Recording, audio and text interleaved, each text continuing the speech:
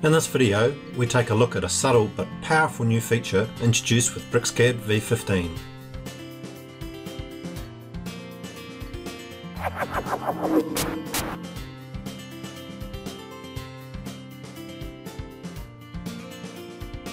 BricsCAD V15 will now automatically detect boundaries in your drawing.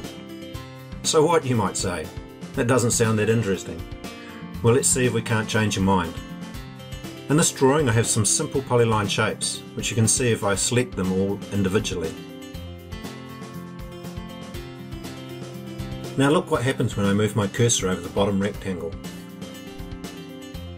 BricsCAD automatically detects a boundary from the overlapping shapes, and using the quad, I can extrude this up to create my solid. If I step back and repeat the process, I could just as easily choose to revolve the profile instead.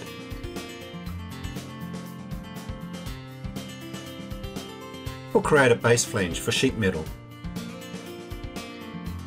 Now don't go thinking that this is some trickery limited to polylines. BricsCAD will detect a boundary from any closed area, whether it's polylines, lines, circles, or whatever. To prove this, let's explode the polylines to simple lines, and then try again.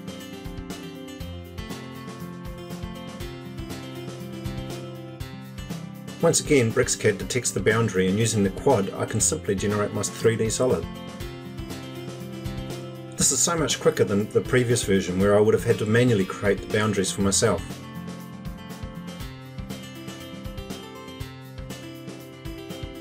This feature is controlled by a setting called Selection Modes, which you can turn on or off from the toolbar.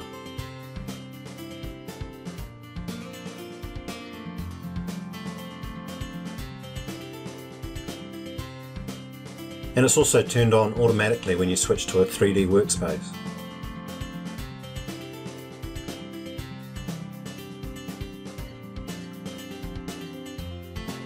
And it gets better. Boundary detection isn't limited to 2D geometry. You can just as easily use boundaries created from 3D objects.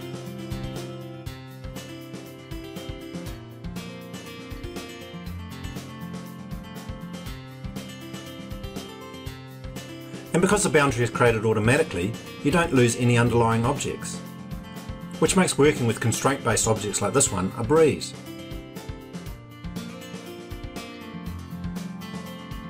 With BricsCAD V15 you really will get more done in less time. So what are you waiting for? Download a trial of BricsCAD and give it a try for yourself.